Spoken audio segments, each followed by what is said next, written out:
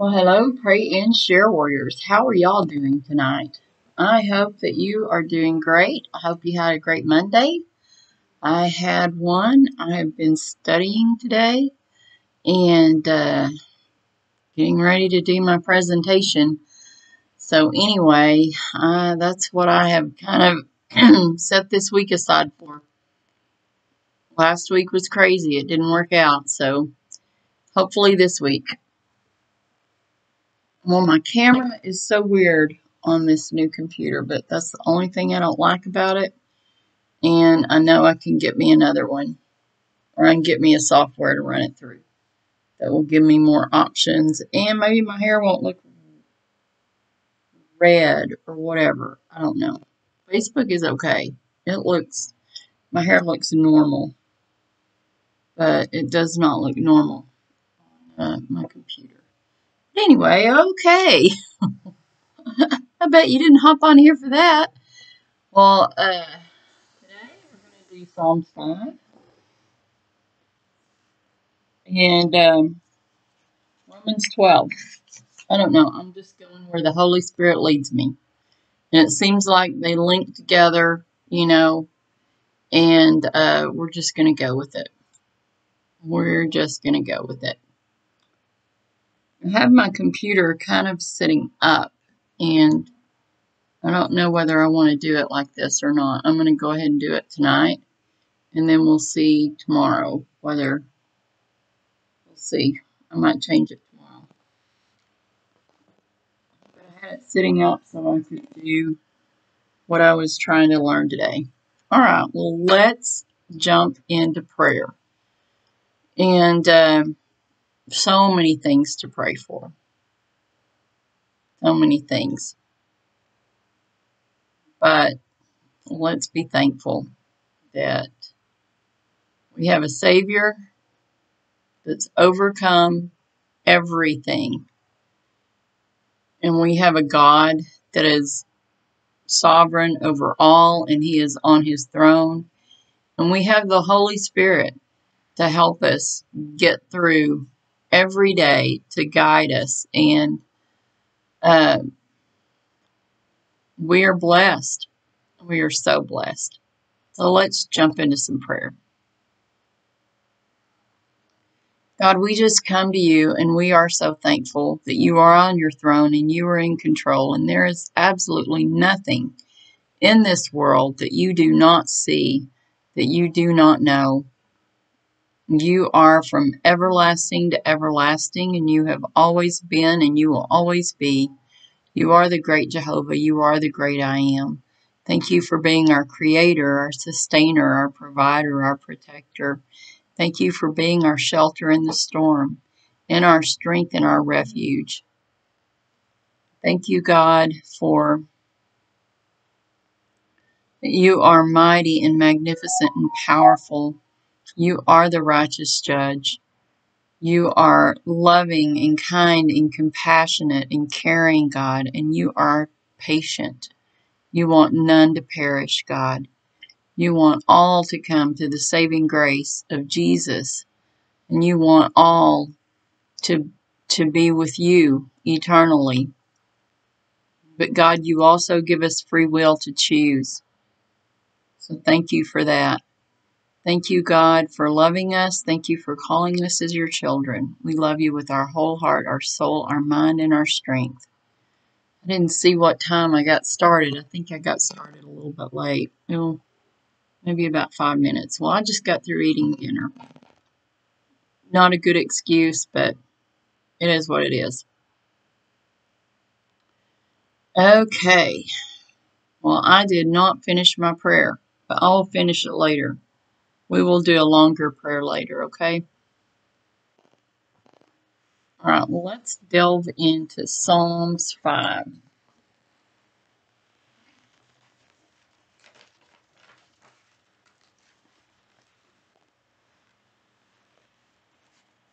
Actually, Psalm 5. Okay, I'm really enjoying this study with you on Psalms. It is so good. This one's kind of long as far as Psalms go.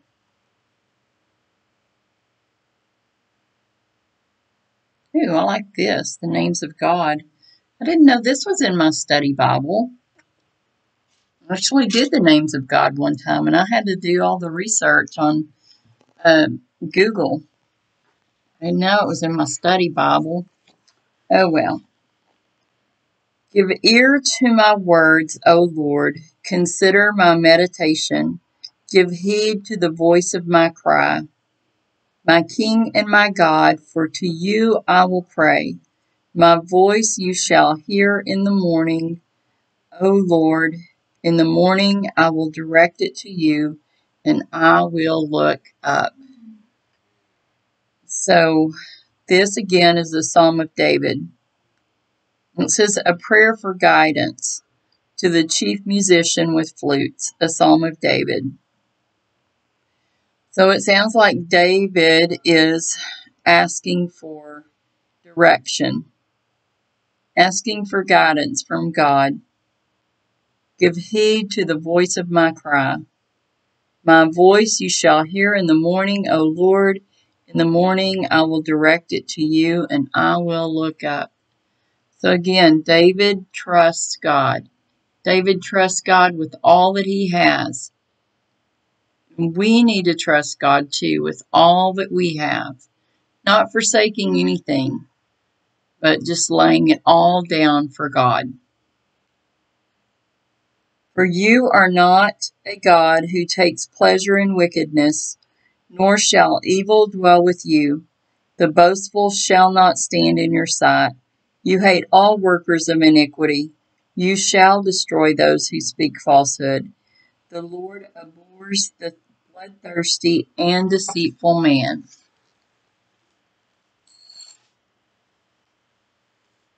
But as for me, I will come into your house in the multitude of your mercy. In fear of you, I will worship toward your holy temple. Lead me, O Lord, in your righteousness because of my enemies. Make your way straight before my face. So again, guidance. David is asking for guidance from God. He is saying that wickedness will not dwell with God, evil will not dwell with him.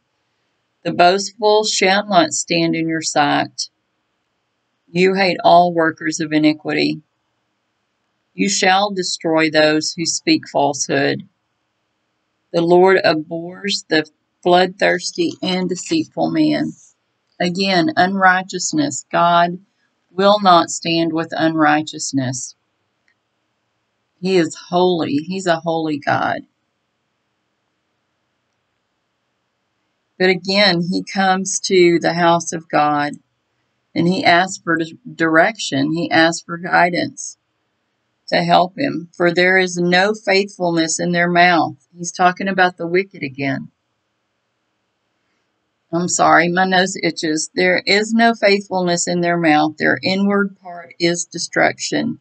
Their throat is an open tomb. They flatter with their tongue. Pronounce them guilty, O God. Let them fall by their own counsels. Cast them out in the multitude of their transgressions, for they have rebelled against you. So again, he's talking about the unrighteousness. But again, he is asking, he is trusting that God will give him the guidance that he needs, that he will direct his path, that he will make his way straight. So, but let all those rejoice who put their trust in you. So when we put our trust in God, we can rejoice. Let them ever shout for joy because you defend them. Let those also who love your name be joyful in you. For you, O Lord, will bless the righteous. With favor you will surround him as with a shield. That is so good. Let me see if there's a study part to this. Yes, there is. If I can get on the right page. Hello to anyone who is coming for the first time. Um, welcome. Welcome to my ministry channel called Awesome Treasures. Okay, so this is the study part. Mercy describes God's steadfast love and his covenant loyalty. Experiencing God's mercy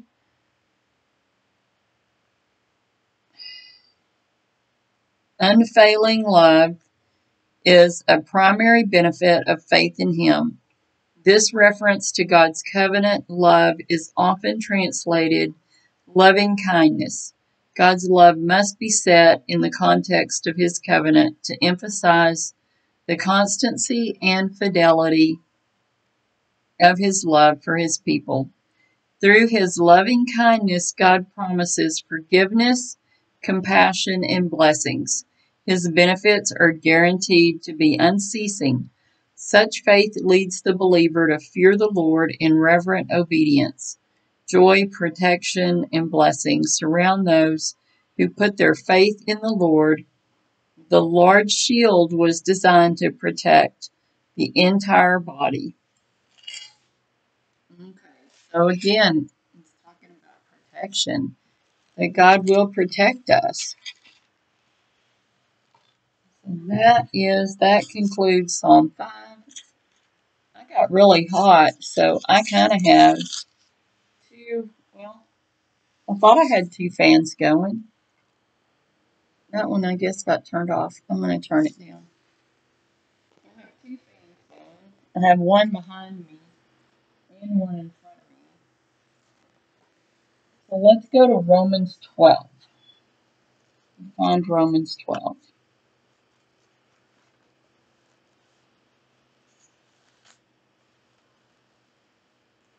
I don't have it marked. I guess I ought to mark these and it would be a little bit faster. These pages are so thin, they're really hard to turn.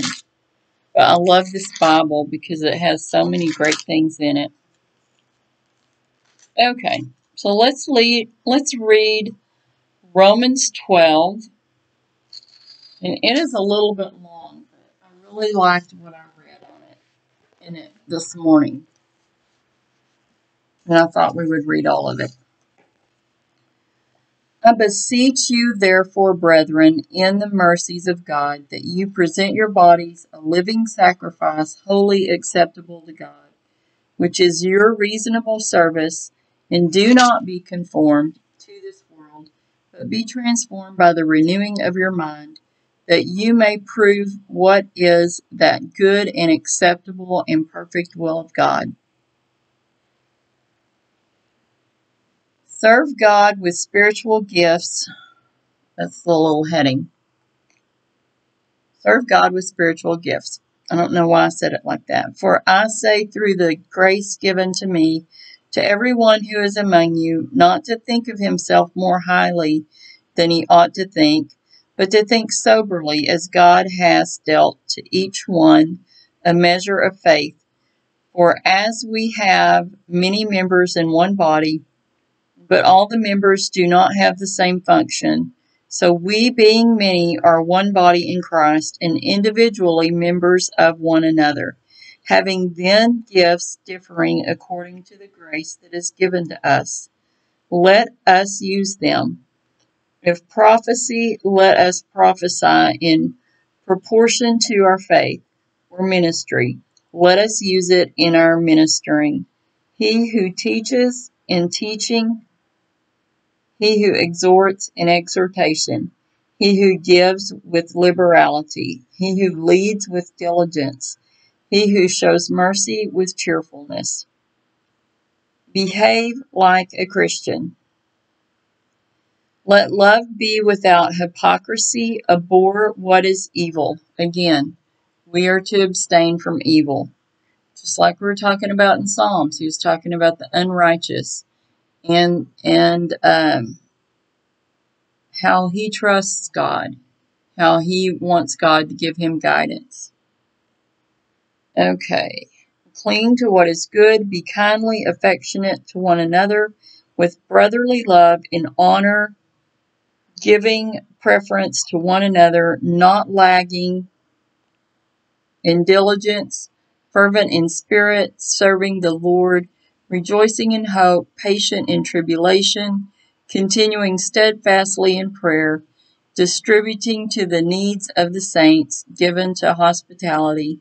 Bless those who persecute you, bless and do not curse. Rejoice with those who rejoice, and weep with those who weep. Be of the same mind toward one another. Do not set your mind on high things, but associate with the humble. Do not do not be wise in your own opinion. Repay no one evil for evil. Have regard for good things in the sight of all men. If it is possible, as much as depends on you, live peaceably with all men. Beloved, do not avenge yourselves, but rather give place to wrath. For it is written, Vengeance is mine, I will repay, says the Lord. Therefore, if your enemy is hungry, feed him. If he is thirsty, give him a drink. For in so doing, you will heap coals of fire on his head. Do not be overcome by evil, but overcome evil with good. You know, we are to treat everyone, everyone right. And if whoever they are, if someone needs something, we need to be the ones that will give it to them. Whether they've been mean to us or not, it doesn't matter. Through the love of Jesus, we are to be his hands and feet. And sometimes that means doing that. Sometimes it means doing something for someone that has hurt you.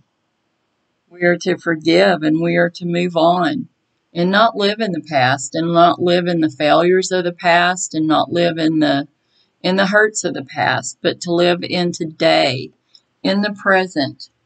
We are to live in today and let God take care of tomorrow. We are to embrace today and we are to live as those living sacrifices for Jesus because he sacrificed himself for us. All right, well, how do we want to do the salvation message tonight? I don't know. My friend Josie hasn't made it yet.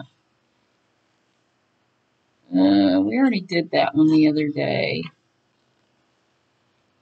Kind of need some new ones. Let's do this one. Well, I can't. Keeps falling out. Let's do this one. Jesus is the answer. He is the answer. This is who did this? Discipleship, Student Discipleship Ministries did this. This is really good. We used to go to YEC and we used to go and see so many great Christian singers and musicians, but I don't know whether they had YEC this year or not because we took our kids to camp. Okay, so look at this cross. Can you see the whole thing? I'll pull it back so you can see it. It's really colorful. I really like it. And then it has some things on the back too. All right, well, I am going to start with one. Maybe it's supposed to be like this. Probably supposed to be like this. Okay. So we're going to start with one and two. We're going to have the answer, which is Jesus in, in between. So one and two. One, God loves you and has a great plan for your life. He created you for a purpose to have a personal relationship with him. Genesis 1:27. He wants you to experience a full and abundant life right here on earth. Jesus said, "My purpose is to give life in all its fullness." John 10:10. 10, 10. Because of sin in your life, you are separated from God. We all are. When we are living in sin, it is a separation from God because God is holy. And God cannot look on our sin. And God is not going to accept our sin as it's okay. Because, hey, I love these people and it's okay. He does not. He hates sin. He loves the sinner, but he hates sin. We are all sinners, Romans 3:23. The price for sin is death.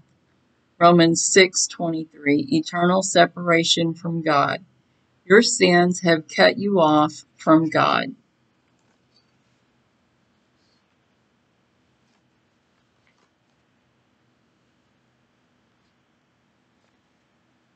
Okay, I gotta find three.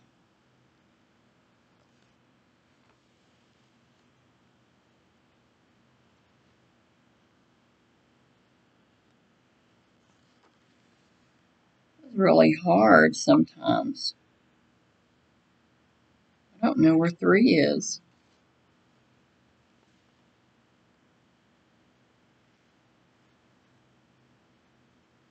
Oh, there it is. Okay. Sorry about that. Three is in the middle. We've got God over here. We've got sin that separates us, and then we've got man. Sin separates man from God, but there is hope. Okay.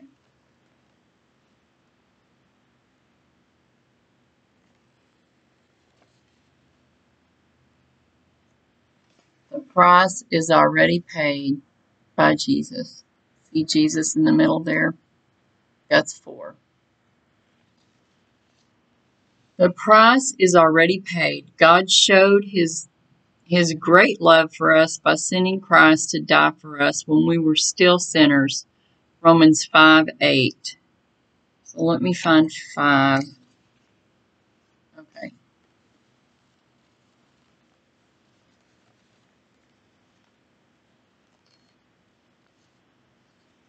5. It's free. It's free. Eternal salvation is a free gift. Ephesians 2 8 through 9. You can't be saved by good works, Bible knowledge, morality, or religion. You can't earn your way to heaven. There is only one way.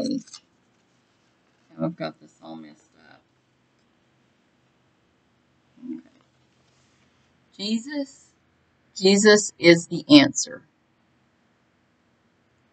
Jesus is the answer. The only answer. I am the way, the truth, and the life. No one comes to the Father except through me. John 14, 6. Seven is, it's up to you.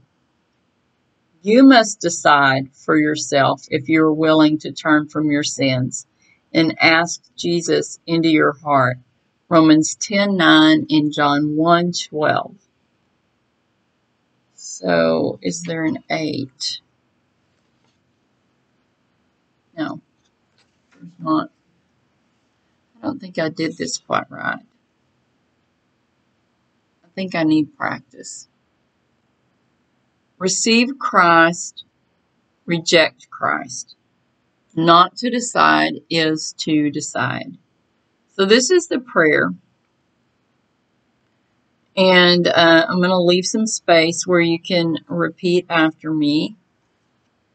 And, and if you would like to get saved, it is your choice.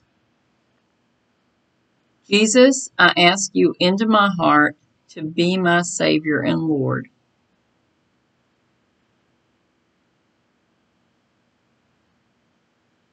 Forgive my sins and give me the gift of eternal life.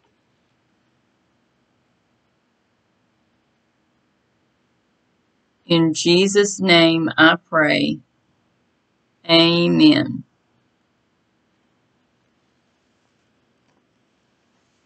Oh, there is an eight. Once you ask Jesus into your life, you can know that you have eternal life. 1 John 5 11 through 12.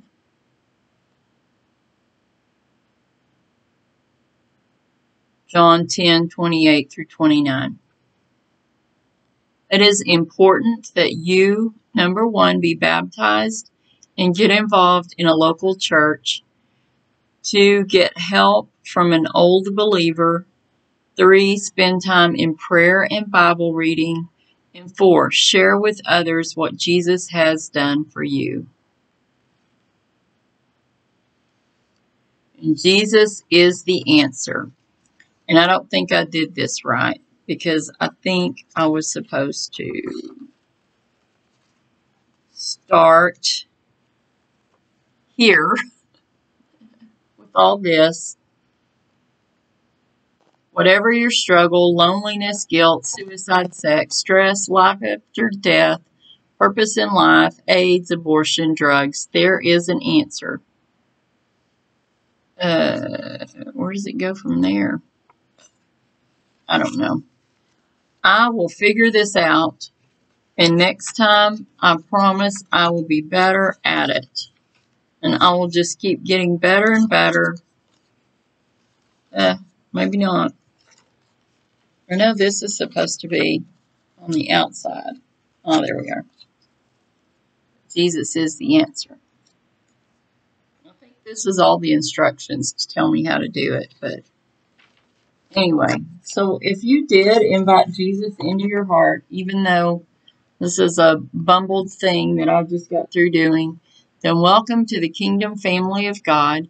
Your name is being written in the Lamb's Book of Life, and um, you are now, and the angels are rejoicing. You are you are now saved, sealed, and sanctified through by God through Jesus, His Son.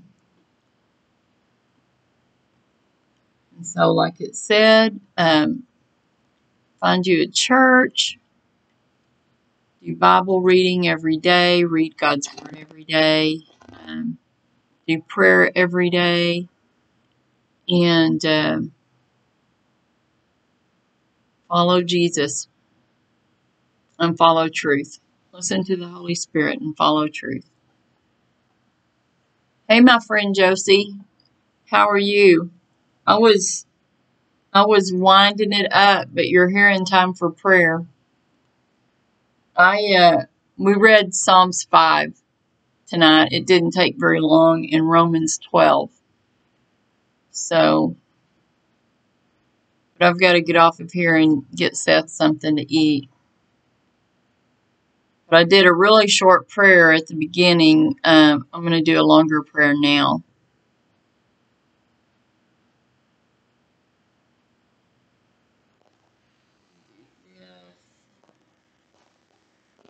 Do our blessings from God in Numbers. And then we'll pray. Numbers 6, 24 through 26. The Lord bless you and keep you. The Lord make his face shine upon you and be gracious to you. The Lord lift up his countenance upon you and give you peace. My day was fine. How was yours? Are you feeling better? You feeling stronger?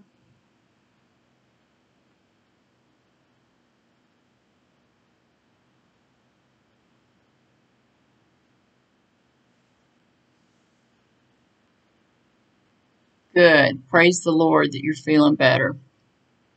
That is awesome. I mostly studied today and did laundry. I got to I have to go put up laundry in a little bit. Okay, well, do you have any prayer requests? We can do a praise on you feeling better. My daughter is feeling better also.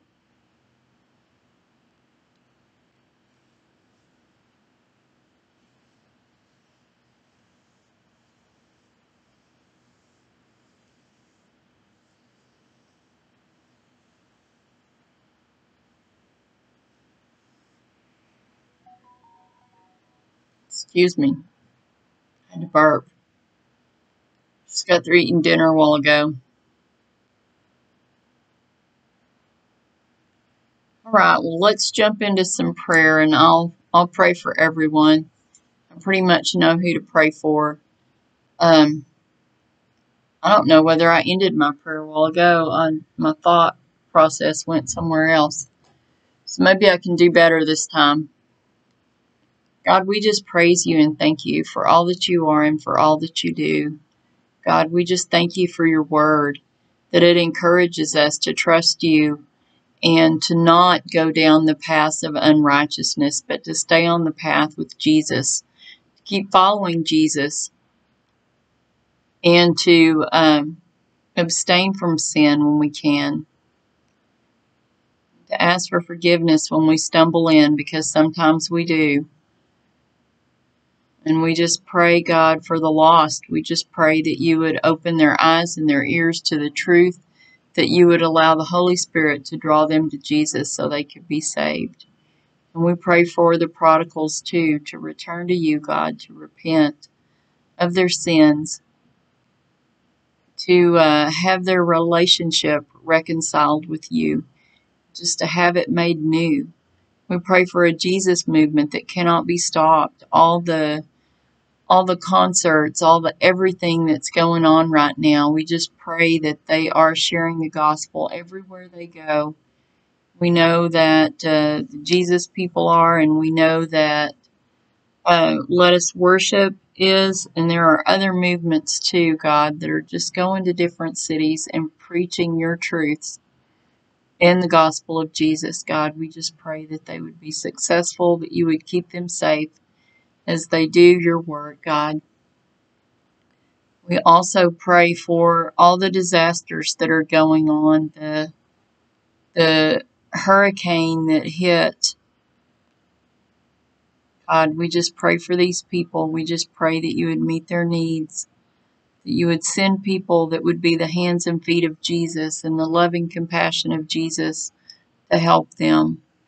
God, we just praise you that Josie is feeling better, and we praise you that Brittany is feeling better, and we just pray, God, for continued continued healing and restorative healing, God, to uh, that they would feel as good as they did before. We pray for Mike. We pray the same for him. We pray for the boys that they would be protected from this disease. And we pray for Austin, God. We just pray that you would give him your guidance and wisdom. And we just pray that you would be with him, God, that he would spend some time with his mom studying your word, God. It's so important. It's uh, really more important than learning stuff in school, is learning what you want us to do, God, in our lives. And we just pray for Josie's sisters and her brothers and their families, God, and we pray for um, her children and their families. We just pray for protection and provision and blessings. We pray the same for Josie and Austin, God, for provision and protection and blessings. We just pray for strength for Josie and we pray that you would help her to get rid of this cough because that seems to be the thing that hangs on the longest, God, is the cough. We pray for eradication of this disease, God. We pray for you to miraculously just remove it from this world. We know that you have the power. We know that you can do it, God. We don't know whether it's your plan and purpose, and we trust you with everything that we have, God. And we trust your plans and your purposes and your perfect timing. And uh, I pray for protection and provision and blessings for my family too, God, for my my children and their children, God. The same for them. That you would guide and direct them every day and that they would seek your face every day through your word, through prayer, and through praise. we pray for school, God. We just pray that this is a good school year for Walnut Springs and for Morgan, for Whitney, for Glen Rose, for all of our kids and our youth that go to so many different schools, God. We just pray that you would be with them and that you would just bless them with a good school year and that they would have freedom, God. They wouldn't have to be wearing masks in school, that they could just be free to be themselves and to learn the way that you intended them to. God, we just. Uh, I think that I prayed about everything I need to pray about. I pray for Josie's friend Maria. For some reason, she popped into my head, God. I pray for blessings and protection and provision for her, God. that you would give her strength as she's having to um, take on more of a workload right now, God, that you would protect her from this disease. And for all the other workers, God, in Meridian too, we pray for blessings in Meridian School also. And all the other surrounding schools, God, we just pray the same for them. We just pray all throughout Texas, God, for blessings in our schools. In these other states, God, we pray that parents will stand up for truth and what is right. We pray for all these missing children, God, that just come up missing. And then we find out months later, God, that they really weren't missing. So we pray for truth, God. We pray for truth to rise above all lies. We pray for all these missing children to be worth truth told about them instead of instead of some cover story to cover up what was really done. Sometimes it was an accident and sometimes we just really don't understand why why the cover up story. Why not get help? But God, we're not in that situation. And God, we do pray in those situations. We pray for these kids, God. We pray for them to have justice where needed. You are the righteous judge, and we are not the judge, God. You know all hearts and minds, and we praise you for that, and we thank you for that. And in Jesus' name we pray. Amen.